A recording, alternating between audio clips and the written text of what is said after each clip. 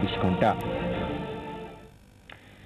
একশো পঁচিশ বছরে পা দিল উত্তর কলকাতার ব্রাহ্ম গার্লস স্কুল। কিন্তু শুধুই শিক্ষার উৎকর্ষ নয়, এই স্কুলের ঐতিহ্যের পরতে পরতে রয়েছে নিবিড় পরিবেশ, সচেতনতার ঐতিহ্য।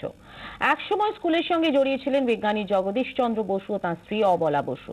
তারাই ছাত্রীদের মধ্যে রোপণ করেছিলেন পরিবেশ সচেতনতার বীজ।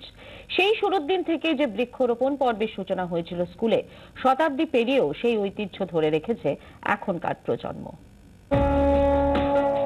স্কুল ঘেরা গাছে গাছে কদম ফুল থেকে পেয়ারা।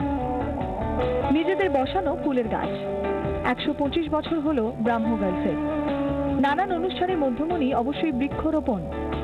প্রতি বছর গাছ বসানোর অনুপ্রেরণা কাদের জানেন?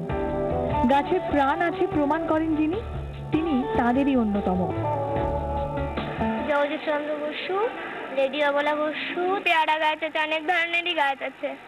রেডিও অবলা বসুর জন্মদিন এই দিনে আমরা সবাই মিলে গাছ বসাই। নাচ গানেও সবুজ সচেতনতা। স্কুলের মাঠে পুরনো বকুল গাছটির তলায় ক্লাসও হয়। আগেও হতো। পাতায় পাতায় যেন বলে এদের পরিবেশ সচেতনতার কথা।